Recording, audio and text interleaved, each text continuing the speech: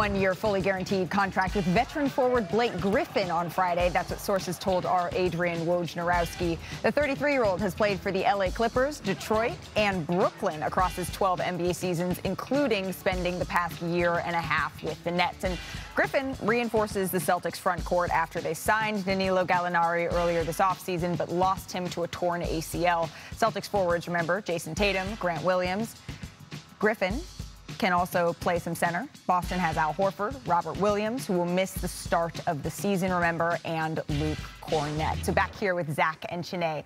Can Blake Griffin still help an NBA team, Zach?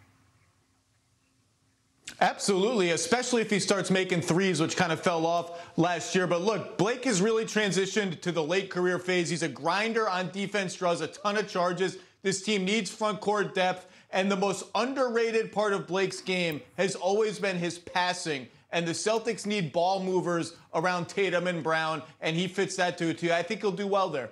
And, Zach, why did he stop shooting threes? Because we heard public sound from Coach Steve Nash last year saying he's out of the rotation. And so when you hear those things, even if you're a true team player, it does affect your mindset approaching the game. And so, yeah, I think the Celtics that need a bigger uh, interior presence while they're dealing with these injuries, using him will be great. He's a veteran. He's someone that I feel like the entire league is rooting for because at one point he could have been the face of the league.